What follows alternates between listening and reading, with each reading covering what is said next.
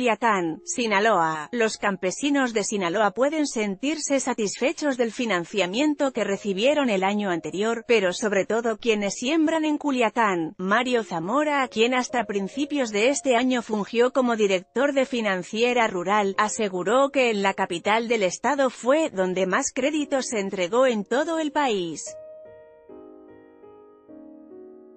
Cuando era director de Financiera Rural, banco que se encarga de dar crédito a los campesinos, al sector rural, Chuy Valdés fue a verme y decirme que le ayudará a que a más gente le llegara crédito en Culiacán. La financiera tenía 100 oficinas en todo el país y en la oficina donde más crédito se dio fue aquí en Culiacán, con más de 5.500 millones de pesos. Y ese crédito le ayuda a alguien a que pueda sembrar, a poner un negocio y le pueda meter ese crédito para que le vaya mejor. Foto, cortesía. El aspirante al Senado de la coalición Todos por México agregó que la inversión llega a las ciudades que generan confianza. Mucha gente está invirtiendo en Culiacán como no había pasado antes. Se están haciendo 27 plazas y eso es porque vio un alcalde como Chuy Valdés que le echa ganas, que todos los días trabaja, que está haciendo cosas.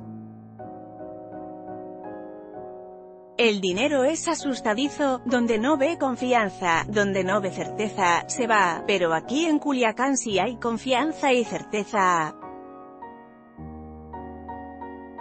Yo les pido que nos ayuden a diferenciar quiénes sí trabajan y quiénes no, a quienes sí les importa que les vaya bien y a quienes no. Zamora Gasteuma acudió a tres distintos eventos junto con Jesús Valdés y Jesús Ibarra, aspirantes a la alcaldía de Culiacán y a una diputación local.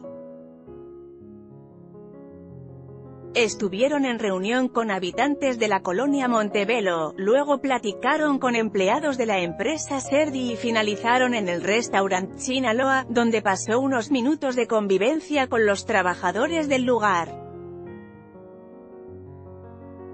Foto, cortesía el candidato a la presidencia municipal de Culiacán Jesús Valdés aseguró que durante su gestión logró llevar a cabo diversas obras sin endeudar al municipio. Ustedes saben que hemos hecho grandes esfuerzos en Culiacán por hacer mucha obra, pero con una característica muy importante, que es no endeudar más al municipio. Aquí tenemos que hacer un solo equipo con Pepe Mide en la presidencia, con los candidatos a senadores, con los diputados para traer los recursos que Culiacán necesita y poder resolver los problemas que tenemos como sociedad. En esta nota, Culiacán Elecciones 2018 Mario Zamora Jesús Valdés